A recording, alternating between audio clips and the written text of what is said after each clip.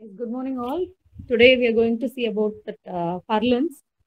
So purlins is one of the most important supporting structure which will be transferring your uh, loads from the roof sheets to your trusses.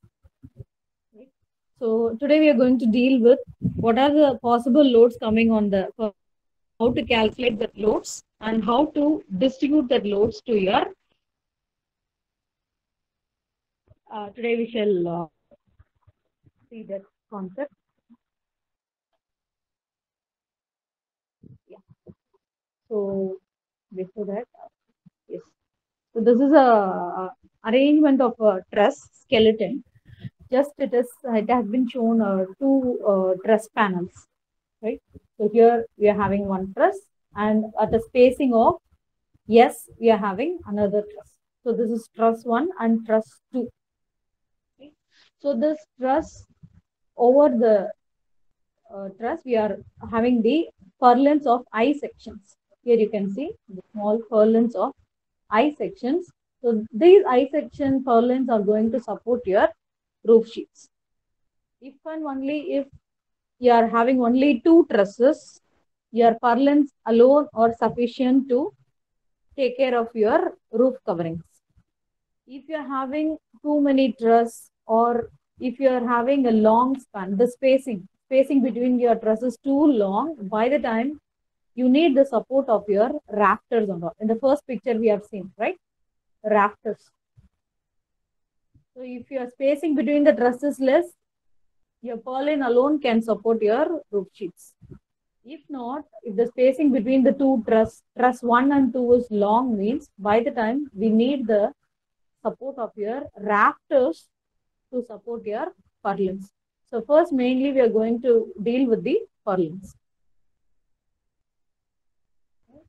So this yes is the spacing. And what is this P? This P between P is the spacing between the purlins. S is the spacing between the truss and P is the spacing between your purlins. So how to calculate the load coming onto your purlin? So your possible loads we have already discussed your dead load, live load and wind load. So the dead load we have to calculate how much area is contributing to your purlin, how much area of roof sheet is contributing to your purlin. So if a roof sheet is placed over a purlin, it will make maximum it will be of rectangular shape. So you have to locate in such a way that it should uh, form a spacing of s by 2, s by 2 on either side. So along the center of your, yeah, this is S and this is P. So how to calculate the area distribution of your uh, roof covering? P into S. So in this picture you can see. So this is the entire form of truss. How to form or how to arrange the truss we can see in the upcoming picture. So this is one truss that is truss 1 supported by a column. It can be of tube sections or angular sections. This is truss 2. And these trusses, two trusses are being connected by the purlins at the edge nodes, at the apex and also at the span. So this is how we are connecting your two trusses using your purlins. And one more truss we are placing this over uh, back to truss 2 truss 3. So again, we can connect by means of purlins. So the main location of purlins is at the edge and at the apex, we must have a uh, purlin. And if this uh, slope, if the slope is long, by the time we need to introduce a new purlin over here. So if a purlin is being introduced, your load, the load will be transferring to through this node. So we can have a one more member here. Initially, we'll be having a bottom chord and these two top chords. So if the span is long, if the sloping edge is also long, we have to introduce a new purlin. Since a new purlin is, has been introduced, we need to have a diagonal member over here. This is what I explained yesterday. Based on the load conditions, we can arrange our own truss. Right? So if the span is still long or if your roof covering may be more weight, by the time you can introduce one more purlin over here So if a new purlin is introduced, again you need to introduce a new member in the truss. So that is based on the design criteria for a particular type of uh, building. So this is a plan view of your truss. We have seen three trusses, right? Truss 1, truss 2 and truss 3. This is These are your purlins in a plan view.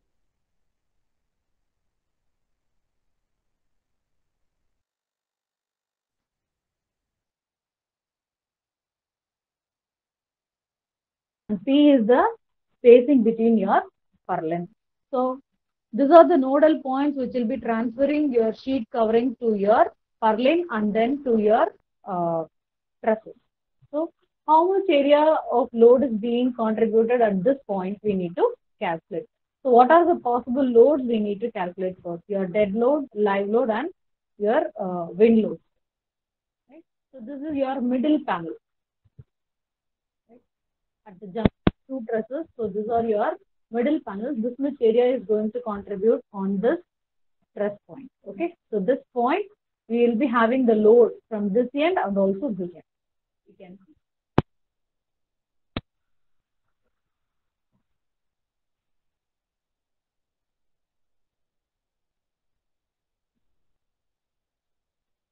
So the total panel area can be calculated as S is uh, length of your panel and P is the width of your panel. You have to note down.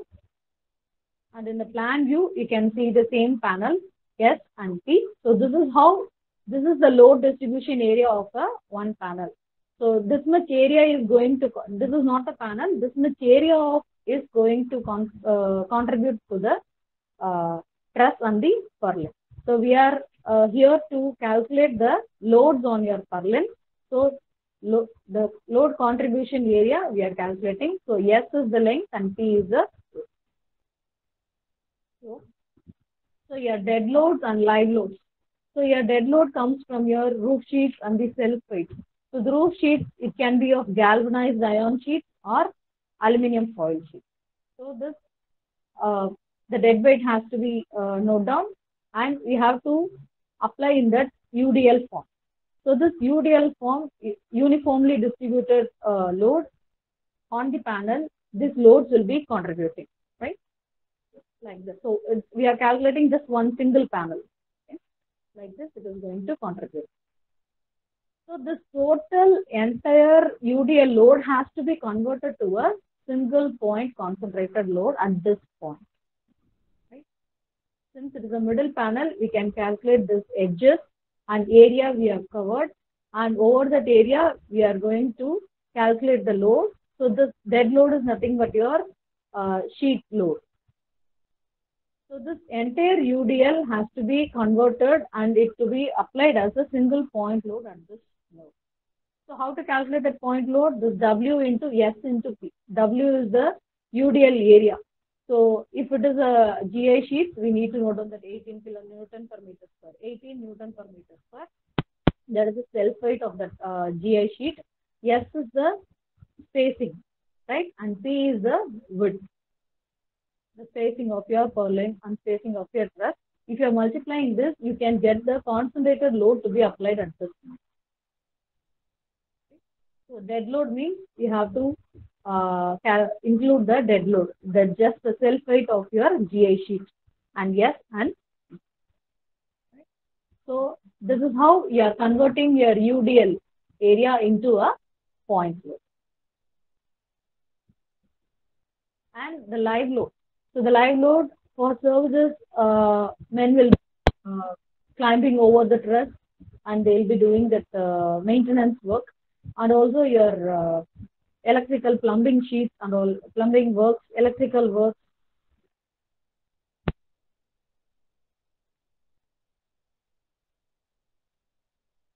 Uh, repairing. The live load also is as a UDL area. So for uh, truss building, maximum you will be calculating as a 2.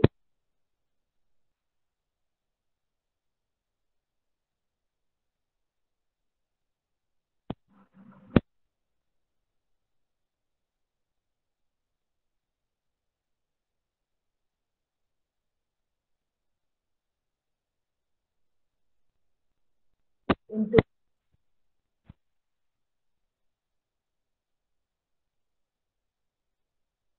ma'am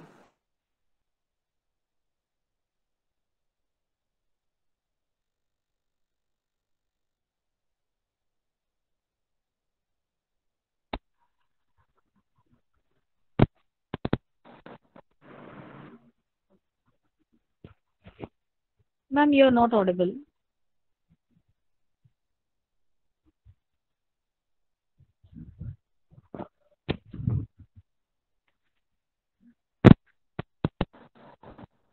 Ma'am?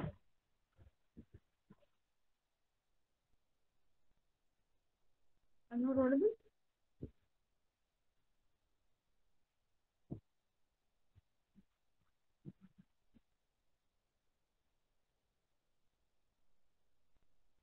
Now, ma'am?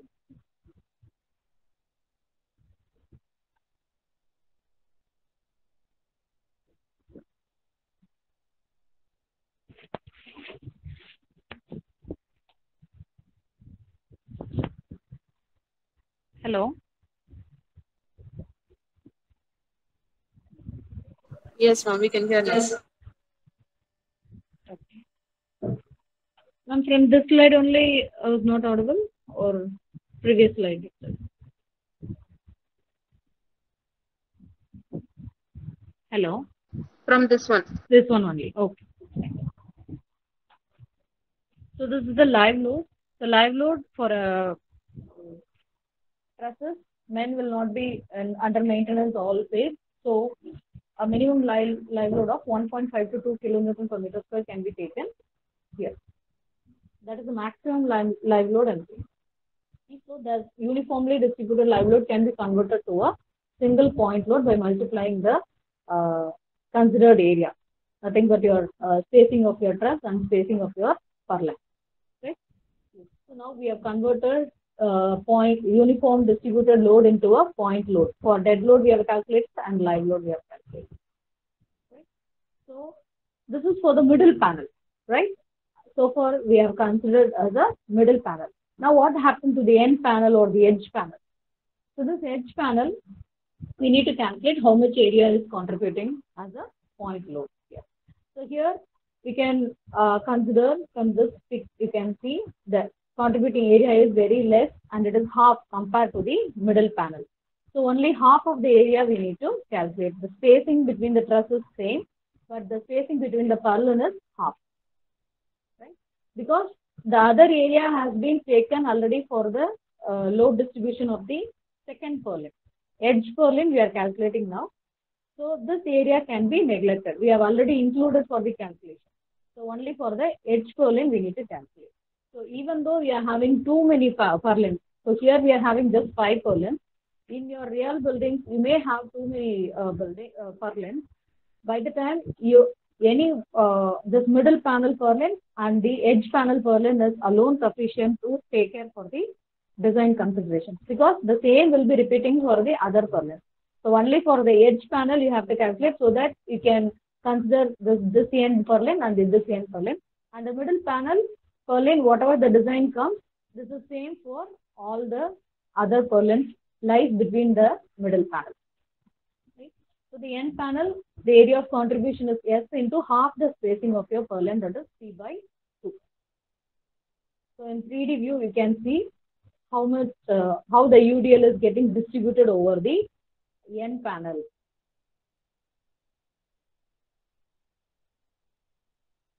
That is, now we need to uh, uh, convert this UDL into a point load. So for that is W into S into here we need to note down it is P by 2. I think I was. Yes. This is P by 2 because half of the purlin spacing has been considered here because it is a N panel. So this next is your wind load. Till this we have calculated UDL and uh, UDL has been converted to a nodal load. Dead load and uh, live load we have calculated. Next is your wind load. So here your wind load is, will be acting at an angle to your panel. So this angle will be same as your truss panel, that's theta. though your wind may be horizontal, but your panel is in the inclined fashion. So again, the same panel you can calculate for your wind load, right? So this is how you have to calculate your wind load. Your wind will be maybe horizontal due to the inclination of the truss. Wind, uh, the point load can be by means of WW. WW is your wind intensity, right? Calculated P, right? That wind intensity into spacing of purlin into P by cos theta because it is making an angle theta with your uh. So that load has been converted into uh, horizontal and vertical load we can resolve. So here we have to convert as a vertical load that is P by cos theta. W into spacing into P by cos theta. So this is for the middle panel. Here I have mentioned as the end panel. Sorry for that middle panel. So dead load, live load, wind load. So for the dead load, we are considering as a uh, is W into S into P has been considered for the middle panel. For the edge panel, we are calculating as P by 2. And for the wind load, we are calculating as P by cos theta. This W and S are right. So all the three loads have been calculated. Then we have to uh, one panel we uh, one only one panel of calculation is sufficient so that you can replicate for the other panels also. So this is how your entire roof sheeting is going to seat over your truss and your load is getting distributed.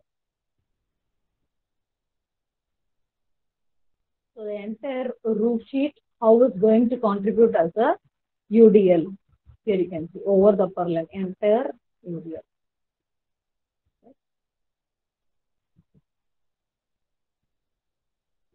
So after, after that, the entire UDL has been converted as for only one panel we have calculated, right? So that one panel you are applying at this point, and at the edge panel you are applying at this point. And same, the, this can be uh, taken as a middle panel. This can be considered as a middle panel. So the edge panel and middle panel, you have, you have to consider as a concentrated load and we have to apply at the nodal points or the junctions of your trusses. So all the nodes, intermediate nodes, you have to apply as a concentrated load. So this is how you have to convert your uniform load into concentrated state.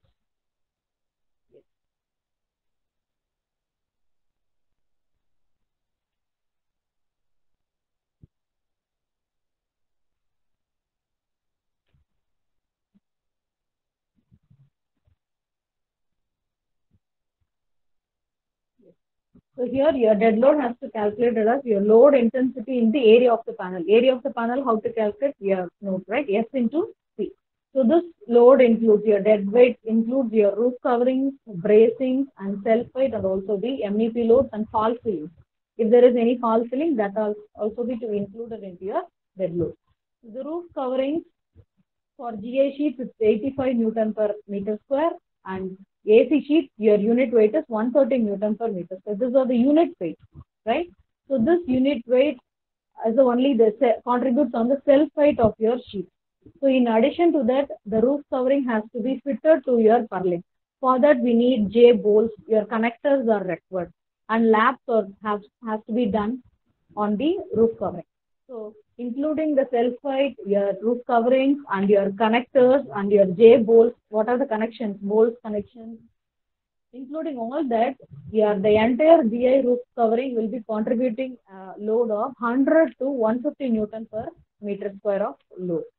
And your AC sheets, aluminum sheets, will be uh, uh, contributing a load of 170 to 200 Newton per meter square. So where we have to add your fall ceiling, your roof covering will be on the top of your purlin. Your fall ceiling will be suspending from your lower panel. In your truss, it will be in the lower panel. This is your lower panel. So this lower panel only your uh, fall ceiling will be fitted. On that you have to uh, consider your uh, fall ceiling load. And live load, so live load, it has to be calculated like 20 plus 6.6 L. So L is your span of your truss and S is the spacing of your truss. For calculating live load, you're having two formulas, that is 20 plus 6.6 into L and 10 into L by 3 plus 5 into S by 4. So mostly you'll be taking the second formula because it is uh, having the uh, spacing of truss component. So it will be more reliable than this 20 plus 6.60. So formulas shall be used. Uh, but for including the space of stress on the effect of live load, we will be using the second formula. L by 3 plus 5 into S by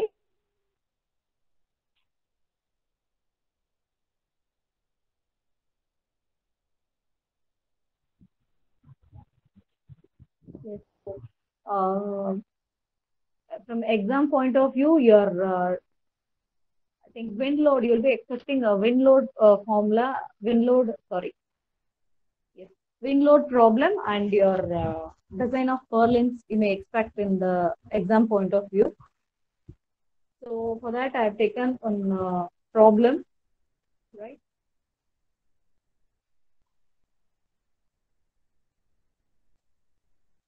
So here your total expected self weight, right?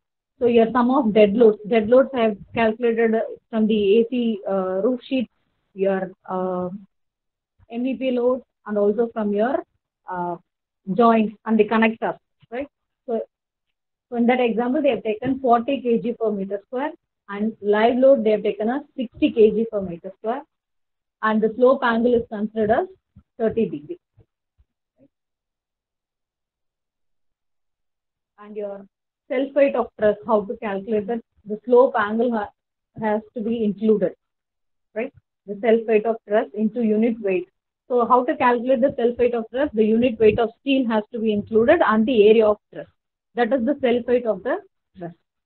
And the total dead load, you have to include the roof covering, your purlin, and also the uh, self weight. This 12.2 has also to be included and then you have to calculate your wind pressure and leeward pressure. So what is this wind pressure and leeward pressure? In the first session, we have discussed how to calculate your wind load. So this P is equal to 0.6 into VZ square. So this VZ is the combination of K1, K2, K3 and VB. So VB is the basic wind speed. For Chennai, we can take it as 50 and K1 is the probability factor which is based on the life cycle of your lifespan of your building. So mostly we'll be considering 50 years. So K1, it may be, maximum it will be 1. And K2, that is based on the terrain category and the height of the structure and size factor, your A and B and all. So it also will be 1. And K3 is the topography factor, whether it is on the hilly area or a very plain area. So by multiplying all these factors, you'll be getting VZ. When this VZ is multiplied by this uh, 0.6 into VZ square, you'll get PZ. So this PZ also we need to include in your calculation that is your windward pressure and windward, uh, sorry, wind pressure on the leeward side and the windward side. So here, this is your wind direction. So this is windward pressure. What is the pressure on the outer side? That is suction pressure. That is called as leeward side. So the opposite side of wind, this is called as leeward side. This is your windward side and this is your leeward side. So how to calculate the uh, panel wind load? So this is your windward pressure. So if your PZ is 1250, this external pressure coefficient has to be calculated from your uh, code book. So external pressure coefficient that is CPE and CPI you have calculated, right? So this is the total wind load, CF into AE into PZ and your external pressure coefficient that is CPE and internal pressure coefficient CPI. So both the things we need to take from your code book. So this CPI and CPE is fully based on the dimension of your building, your length of your building, your width of your building and the height of your building. So, so your leeward side pressure coefficient will be 0.7 and your windward pressure coefficient will be 0.9 and 0.3. This is for the building what I have considered. So in your problem, if you are given with the dimension of your building, for your respective dimension, we need to calculate the CPI and CPE. That is available in your code book. From the table, you can note down. Okay. So this, uh, the dead load we have calculated, uh, which means your panel dead load, W into P into S. In the previous slide, we have seen. So W is your weight of your truss and P is the spacing of your purlin and S is the spacing of your truss. Right? And panel live load. So live load you have considered 60, 2.5 is your panel uh, spacing between your purlin and S is the spacing between your uh, trusses. Why this 9.81? Because your load, the 60 and 52 are in terms of kg. So that convert 2 into, you are having 9.81. That 2 kg, dividing it by 1000. Dead load, live load, wind load, be converted and you need to keep same unit. Right? So the wind load, which will be acting perpendicular to the inclined roof. In the previous slide we have discussed, it will be uh, making an angle theta with your thrust. So we need to multiply your load by P by cos theta. Inclined panel length, your W windward force into P by cos theta we need to multiply.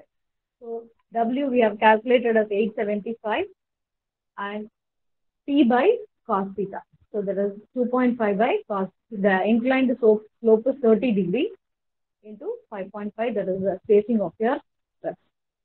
And for leeward side, leeward side means this end. Windward side is this is the area of uh, wind pressure and leeward side is this is the area of wind pressure. So here the area we need to, uh, the pressure we need to include and 2.5 by cos theta divided by 1000. So this leeward side means the wind opposite direction. Here you will be expecting a suction pressure.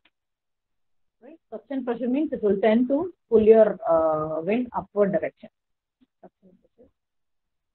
And here we are having two coefficients at the uh, windward side. So one is on the wall and another one is on the roof. So we are having two coefficients. So now we have calculated all the loads. Now that load has to be converted. Uh, already we are having, right? Your wind load in terms of kilonewton. Your dead load is also in terms of kilonewton. So your UDL, all the UDL load has been converted as a point load over here. Dead load is 7 kilonewton and your live load is 8 kilonewton. Your wind load is also converted on the windward side it is minus 17 and on the leeward side it is minus 13. So in uh, industry we won't, uh, but for your uh, problematic subject, I mean analytical subject, you will be calculating exact assets. But in industry we may round off, not to 14, even to 15 we will round off. Here if it is 17 means even to 20 kilonewton we will be taking as a rough. Because to take care of your accidental loads, we may round off to the nearest number. But for your analytical subjects, we need to uh, uh, employ the same values what you are getting here. Right? So this W uh, and this load has to be calculated and convert applied to your purlin. Now we have applied as a unit load. Now the load that are required to design your purlins are all calculated. Now we need to design your purlins. As of now, we did the load calculation. Now we are concentrating on the design of purlin. So this purlin, you can expect your uh, moment, right? That is mu and mv. So why it is it's nothing but your WL square by 10, right? WL square by 10. Since your purlins are considered as a continuous uh. If you are going for a simply supported purlin, if you are considering simply supported, then we need to consider it's a UDL, it will be WL square by 8. So here it is WL by 10. So here, why we need to calculate this MU and MV? Always we'll be concentrating on MX, MY, right? But why here MU and MV? Because your purlins are inclined fashion, right? So whenever your axes are uh, inclined, by the time you'll be expecting a biaxial moment, right? So what is a biaxial moment? Here I can show. So initially, when a member is in a normal position, either it is in a horizontal or in a vertical, your moment will be acting along the x and y direction. So we are using uh, I sections, channel sections, and angle sections are all for this purlin. By the time your purlins are inclined also, because your roof uh, upper chord is inclined, your purlin is also in the inclined fashion. That's why we are calculating the wind load, you are dividing by cos theta. Similarly, your number is also subjected to biaxial bending. So here is a normal uh, uh, normal structure or a normal element in its own position, right? Here, mx and my. Mx means your moment acting with respect to x along x axis. With respect to x, your mx will be acting, and my will be acting in this direction, which means in the direction of y along y axis. So only we are considering as mx and my. So this is your neutral axis in the normal position. And your member is inclined like this, right? Uh, here the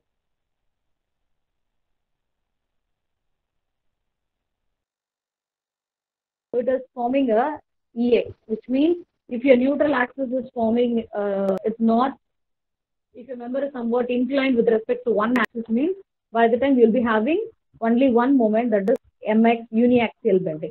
Or if it is inclined with the vertical axis, Y means by the time you can have a uh, uniaxial moment in the Y direction. It will be parallel to X, so it is it may be inclined in the Y, so may you get uniaxial bending over here.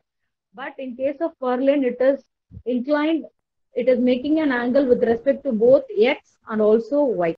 So by the time you'll be expecting moments along both directions, that is U, uh, MX and MY. So your neutral axis is making, already it is making an angle with X and Y. So the new axis will be U and V. So only you are calculating MU and MV. So with respect to both X and Y direction, it is having a moment. So it is called as biaxial moment. If it is with respect to any one axis, it is called as uniaxial bending. And if it is bending with respect to both the axes, then it is called as biaxial bending. So imagine your purlin is uh, maybe a hollow tube or an I section. So it may be inclined fashion, it may be placed. So the neutral axis will be forming an angle with the uh, position. So that has to be taken into account. So mx and my. For I sections, you might have come across this M, IUU and IVV, right? So with that, we are calculating this mx and MV, MU and MV. So for biaxial bending, why we need to calculate? That's the concept here. So P is your gravity load, your snow load, your weight of purlin, self weight of purlin, everything we can calculate. So H plus P cos theta. And H does is a load acting along your UU axis, including your wind load. So this everything is includes your wind load also. P sine theta. So whenever a force is acting in a inclined fashion, it can be resolved into two components, horizontal and vertical. So your wind load, you are uh, resolving into P cos theta and P sine theta. And L is the span of your purlin and center to center distance between your uh, adjacent trusses. So your MUU can be calculated. This is the formula. Just for P dash, you are replacing with H plus P cos theta. Actual formula is P dash L by 10. For P dash, you are employing H plus P cos theta. And for H dash, you are using P sine theta into L. P sine theta, L is already in the formula. So even you are using channel sections or I sections, you need to check your after the design, you need to check your uh, limiting condition that is your mu by du, mu by mdu plus mv by mdv is less than or equal to 1.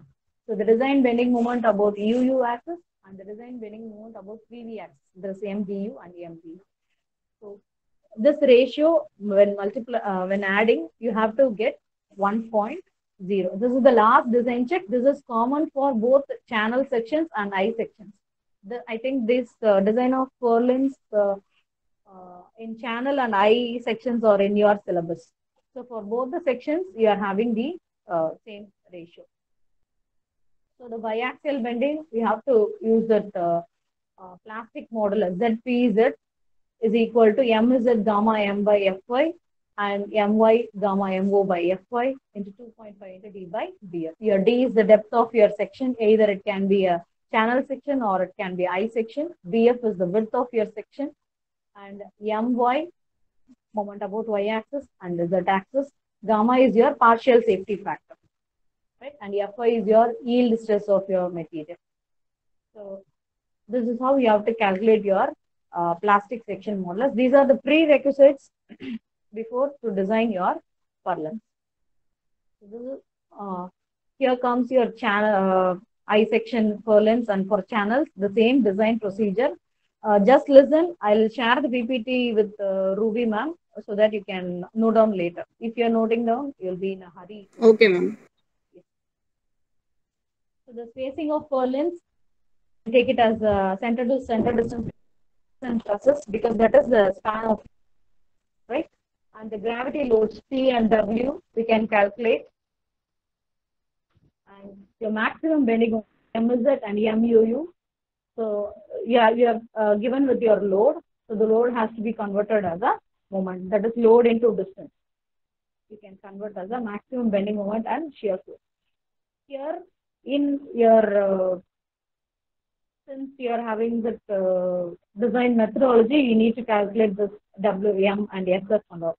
In industry, while you are modeling with the STAAD Pro, this bending moment and shear force diagram you can import from that. Your STAAD Pro itself shows your bending moment and shear force. But why we need to have a knowledge over here? Because only if you know the what is the uh, value of your bending moment and shear force is coming and how the orientation of your bending moment, how to draw that bending moment.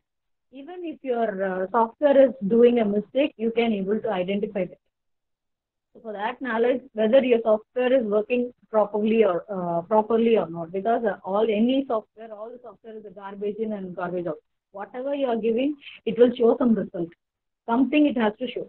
So it will show a result. But whether the input is properly processed by the software or not, whether it is taking uh, the loads are in a proper fashion or not, that one we need to know. For that, we need to have a manual calculation. We should be strong in your uh, uh, manual methodology.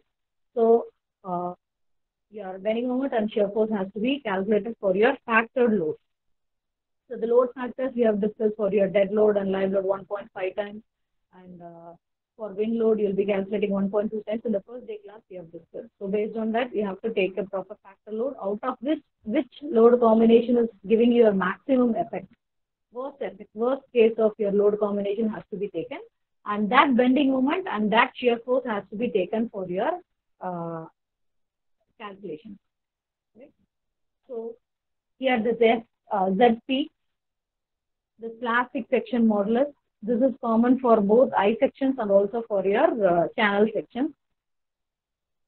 So MY, MZ we have calculated. The partial safety factor considered is 1.1.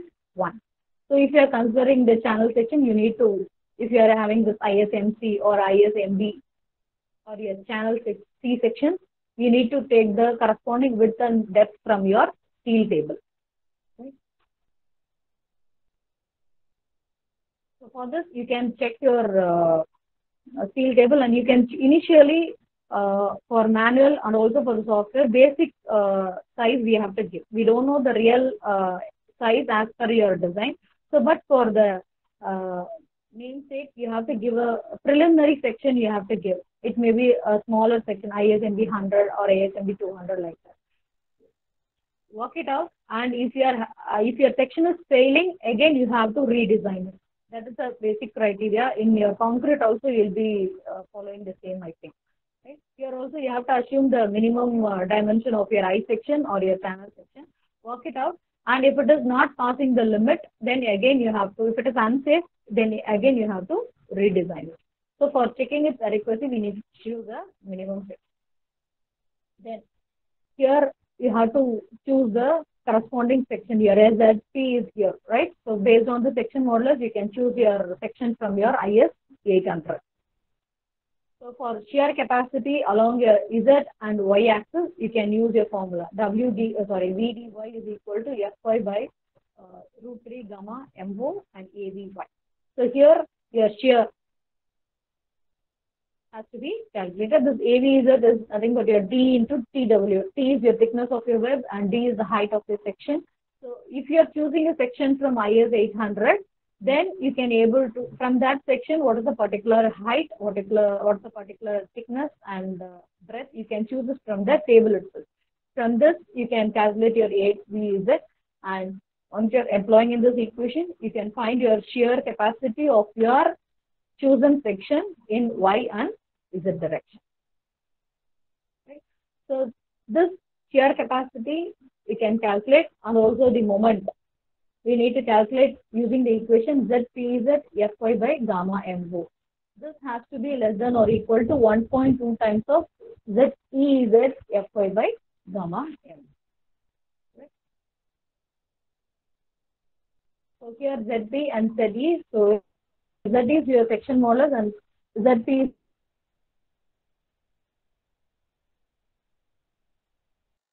dy. Here you need to the shown, right? This is common for both channel and also for I section. My by dy, mdy, mz by mdz. You need to check this local capacity. If this ratio, while you are adding up, it is less than or equal to 1. If it is not, again we need to redesign it. And also, if it is passing this, if it is less than or equal to 1, it is passing, then you need to check your deflection criteria. So deflection table also, it has been shown in your first day session for your lateral member and for your vertical member, how is the uh, deflection. So for the vertical member, you'll be getting the lateral deflection and for the horizontal member, you'll be ha having the downward deflection. So for it is a, like a horizontal member, so downward deflection we need to calculate because your purlin is a horizontally inclined member. So your vertical deflection will be L by 180. So L is the span, whether your length of your your span is sat satisfying this deflection or not, we need to calculate. Once this check is also passed, then you can very well use the chosen section from your table. If any of these two criteria is not satisfied, then again you need to check your design, redesign. Right? So center to center distance, calculate your loads, calculate your bending moment and shear force, find your ZP, that is section modulus, and using the section modulus, that is plastic section modulus, here you can see, right? ZP is plastic section modulus. Using this, you can choose your section from IS 800 or 2007, and you can calculate VD and VZ, shear capacity, and compute your design capacity in this MD and MY, MDY, and check your local capacity using this equation and finally check your deflection. So this is your design uh, of your purlin. So if your section is having an angular section, if you're choosing an angle section for your purlin, when you're going for I and channel, if your load is heavy, you can go for I section and channel section. If you're having very lighter loads, don't want to employ that much bigger section in your design, by the time you can go for your I section, uh, sorry, angle section the load calculation, everything remains same, right? All the things remain same, even your bending moment also, WL square by 10, right? Everything is same.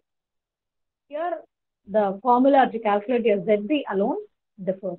So, M by 1.33 into 0.66 into F.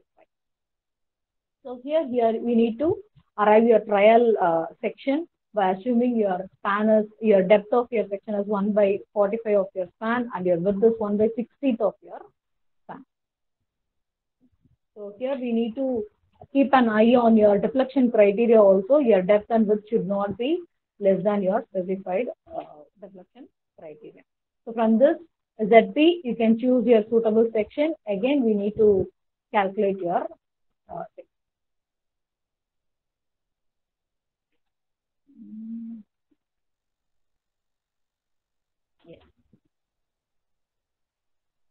Again, one more formula from IIT it has been uh, given for Z purlin of your industrial building. So spacing of truss, wind speed, your grade of steel, or everything is given here. You can just have a look over here. So your steel grade is FE4 and 10, 410. Ma'am, can you please uh, wait for two minutes, ma'am? Connection is uh, problem. Okay, okay.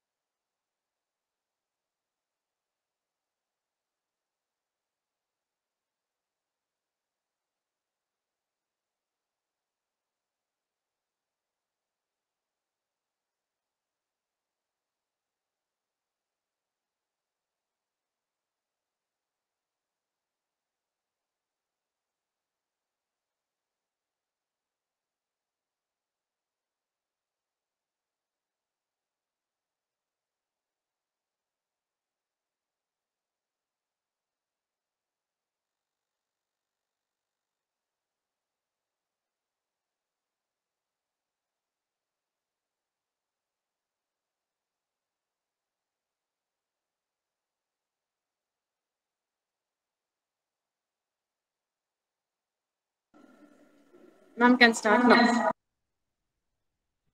Okay.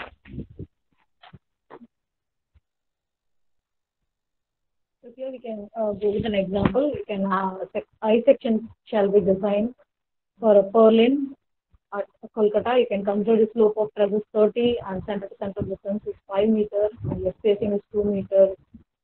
For AC4 and 0, steel has to be used. So here we can uh, write down the data and your wind pressure.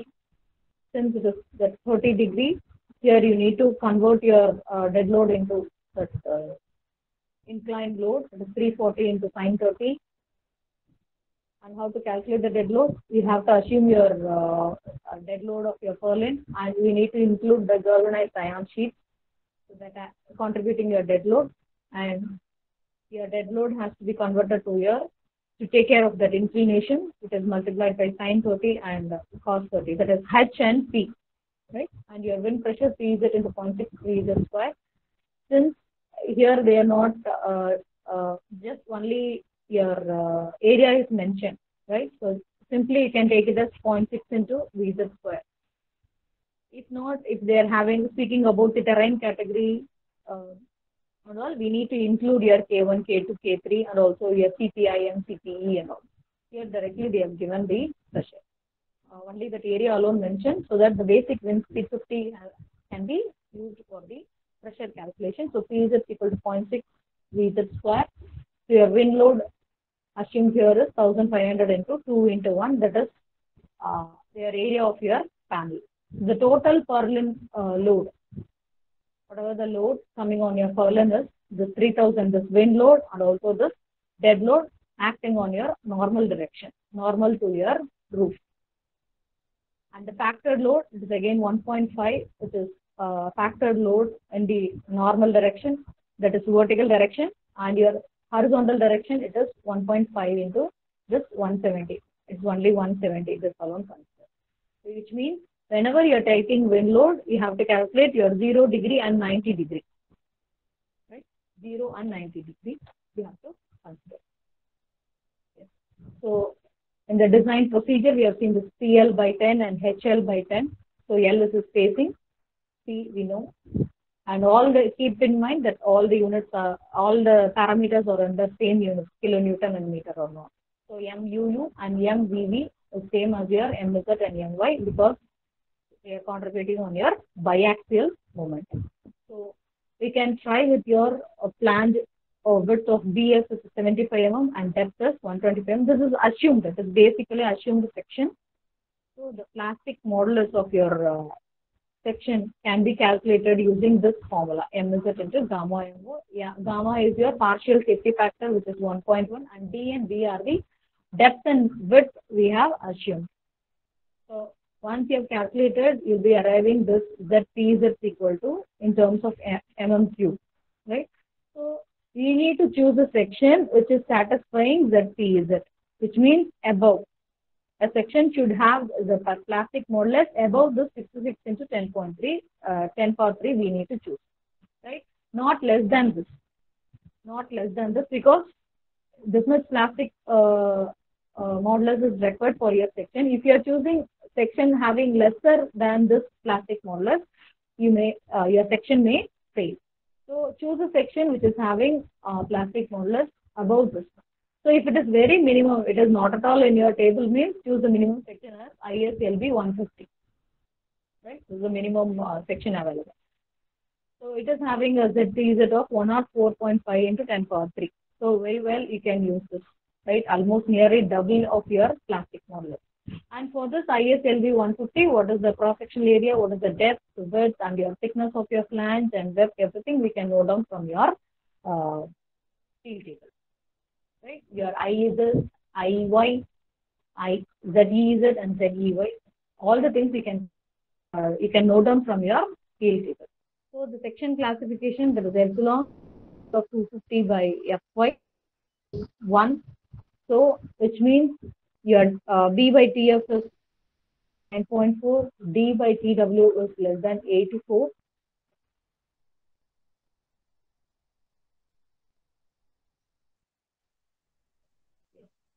So Here, since this epsilon is equal to 1, here your section can be considered as a plastic one.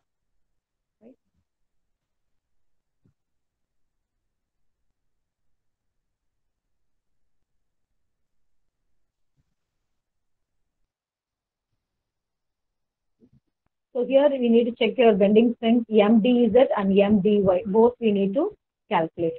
Here your MD we can calculate this is 23.75 and MDZ also we need to calculate. We need this this DZ is your design moment in your Z direction. This MD is your actual moment coming for your loads. So your design moment should be always greater than your actual moment. So this is your actual moment. This is based on the section you have chosen for your uh, design. So the section should sat satisfy the moment. So your MD is the design moment should be greater than your uh, actual moment. Hence it is okay. Your section is fine. Similarly, we need to check for your MDY also. So MDY also we need to cross check with your MD design moment. If it is greater than your design moment, hence it is okay. Then you need to check uh, the design for your overall uh, member strength, that is for your local capacity. So MZ by MD is plus MY by MD is less than or equal to 1 or not. So if it is less than here, we are getting 0.66. If it is less than 1, then it is fine. You can very well go with your section ISMC to 150. Again, one more criteria is your deflection check. So there is L by 180. L is the 5000 is the span and uh, 180 if you're getting this 27.78 mm. Whether it is okay or not, we need to check with your W alpha 4 by 384 EI. Right? W alpha 5 by 384 EI, we need to check. So it is, or the section deflection is 4 mm for your assumed section. But your allowable deflection is 27 mm. For 27 mm, your uh, section is allowed to deflect. But for your section, you are getting only 4 mm, very much less lesser uh, deflection. Since it is lesser than your allowable deflection, your sec, uh, whatever the section you are suggested is okay to withstand your loads. Right? That is what the design criteria. So first we have to uh, design the load, calculate your moment, and find your ZP. From your ZP, choose your section, note down the section detail, and find your MDZ, MDY. Compare your design moment and the actual moment. Check your local capacity and check your deflection. So your design moment should be less than allowable moment in X direction and Y direction. Your local capacity should be less than 1 and your deflection should also be less than allowable deflection that is L by 180. So this is your design of purlin. Uh, that's all for your uh, today's session.